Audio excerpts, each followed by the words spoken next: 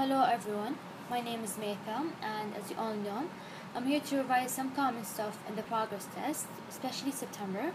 So I'll talk about the musculoskeletal, skin and connective tissue. Starting with the musculoskeletal system, here are the topics that I'm going to talk about and I also mentioned the lectures that I took the information from. So if you want deeper or detailed information, you can easily check the lectures out. Regarding the muscle part, I planned to go deep since uh, we're taking most with this block, especially the first two weeks. So first with bone growth and development,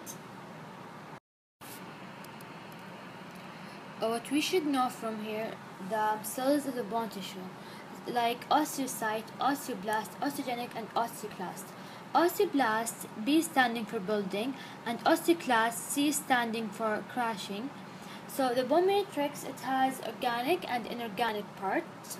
Uh, the organic it has the collagen type 1 for example and the inorganic it's mineralized it has water and other minerals so osteogenesis and its stages um, first the bone formation begins in the second month of the de of development and the postnatal bone growth which is until the early adulthood and then bone remodeling which is lifelong if you want to know about the intramembranous and endochondral ossification then uh, you can check Dr. Asma's lecture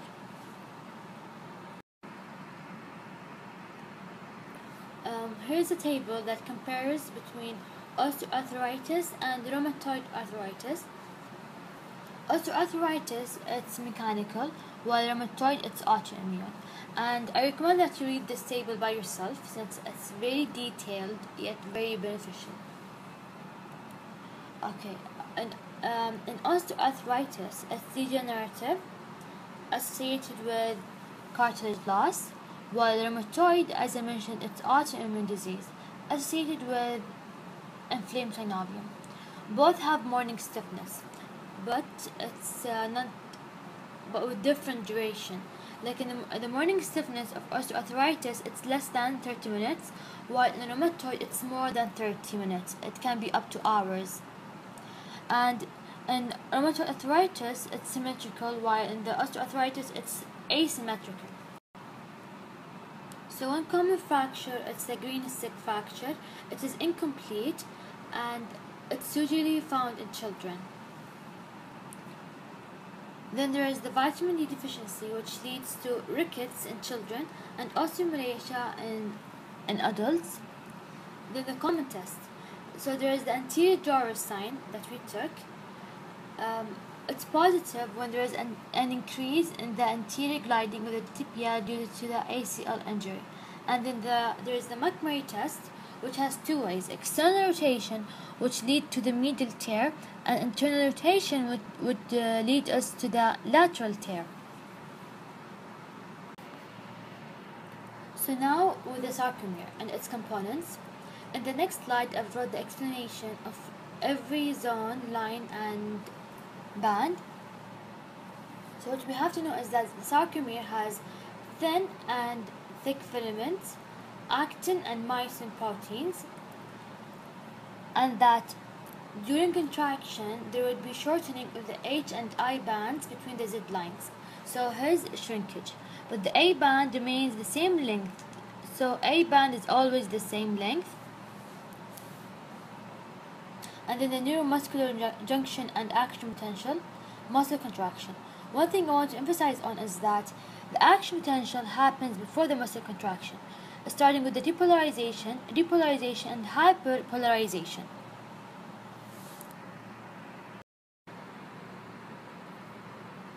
Muscular dystrophies. What we have to know from this slide is that there are two types, Duchenne and Becker. Duchenne is um, okay, so both of them are caused by X-linked disorder, disorder, but in Duchenne the dystrophin is deleted, and the Becker uh, it's there but it's partially functional as you can see here. And then there's the Gower sign which is classically seen in the Duchenne muscular dystrophy. Now with some important movements. Okay, I've noticed that the muscles that are supplied by the nerves that we're taking in this block are very frequent in the progress test, such as in the biceps femoris and the membranous, that they're both responsible for the extension of the thigh at hip joint and the flexion of the leg at knee joint. And now the second part of this presentation, the skin, uh, skin and connective tissue. Here are the topics and the lectures that I took the information from. So on the connective tissue, I haven't found many questions, but what I believe is important here is knowing the types and the cells. So the types such as the proper, specialized, specialized supporting, and the cells, macrophage, mast cell, fibroblast, fat cell, plasma cell.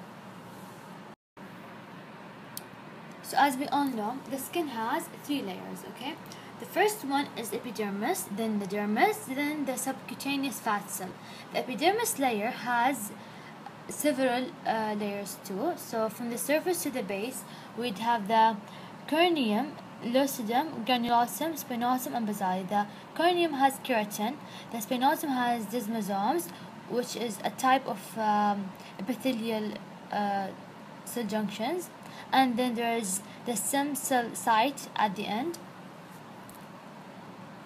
So epithelial cell junctions there are many. For example the integrins uh, that are found in the basolateral. Also there is the hemidesmosome gap junctions desmosomes adherens junctions tight junctions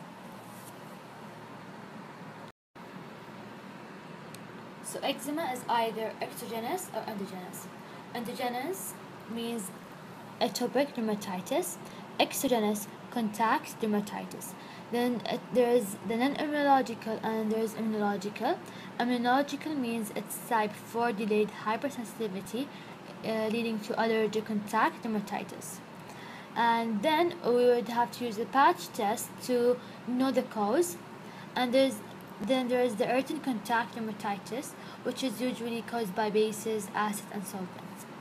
Uh, the patch test is usually confused with the prick test. The prick test is for type 1 hypersensitivity, angioedema, and urticaria. Psoriasis has several types. What we want to focus on today is gut which is triggered by streptococcal throat infection.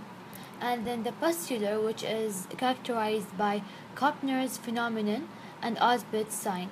Koebner's phenomenon is when there's lesions at the site of uh, trauma, and Auspitz's sign is the pinpoint bleeding site.